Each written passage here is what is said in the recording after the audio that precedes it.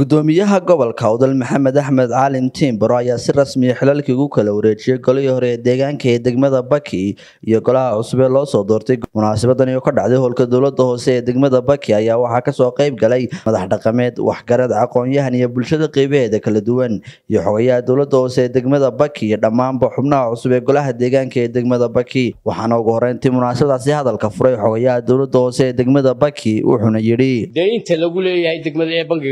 leeyahay hala soo qoro baa la yidhi. Wax dayloo degmada ay bangiga dhexe ee dowladda soomaaliya ku leeyahay annaga degmo ahaan ma jirto.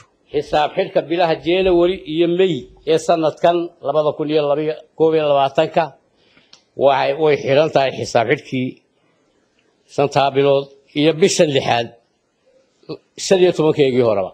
Shaqaalaha degmadu waxa weeyaan siddeed iyo toban shaqaale mishaarkoogana way wada qabaan wax mishaaro oo lagu leeyahay degmaduna ma jirto. Intaa kadib waxaa halkaas ka daba qaatay duqa degmada baki iyo welibana sidoo kale ku-xigeenkiisa waxayna tilmaameen.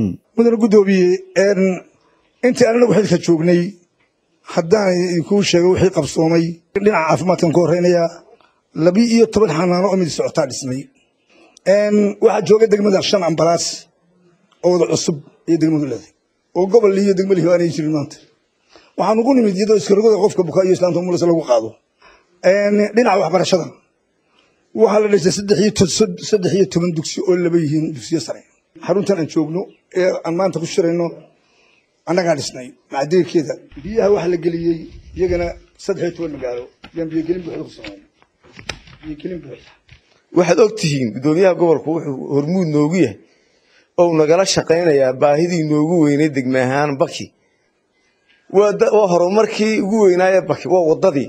Waxaa laynaga doonayaa dhammaanteen inaan diyaargalowno inaan jeebkeenna iyo jeebabka dadka iyo kuwa ummadda socotada ah iyo ka martida aba ka baadhno.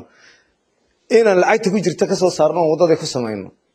Barnaamijkaas wuu socdaa uu bilaaban yahay. Guddidii baa la dhisi doonaa maalin dhow. Geesada waxaynu halkaasi ka hadlay qaar ka mid a xubnihii hore golaha deegaanka ee degmada baki waxayna yidhaahdeen. Xildhibaanadeedii hore qayb ka mid a joogta degmada. Ma aha isbedelku xildhibaano cusub way jiraan. Laakiin waxa aan isbedelin ee weli noo joogaa waa maamulkii guddoomiyihii iyo guddoomiye ku-xigeenkii degmada baki oo sidii ay xildhibaanada horeba sheegeen nasiib u helay. Dadka oo jecel awgeed bay ku yimaadeene kuma iman macnaha rabitaan kale ama mataqaana wax kale kuma iman. Maadaama ilaahayna soo celiyey ya wixii meesha ku jira iska ilaaliya oo dadka horumarin u sameeya wax u qabta bilacda iyo nadaafadana degmada iyo iyo iyo tuulooyinkaba u hagaajaan lahay.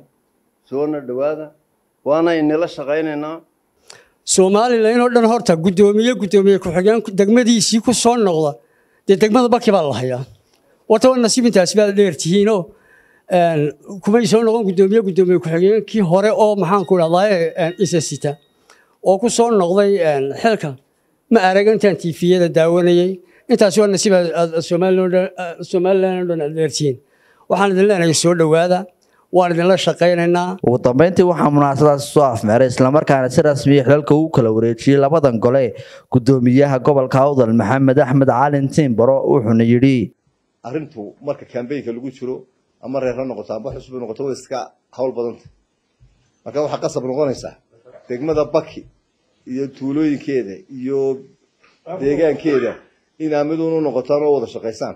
Khayr badan baan idin rajeynayaa qoladiina hore waynuu sii ducaynaynaa ilaahay intii miisaankii xasanaadka haydin saaraa qabateen qolada cusubay.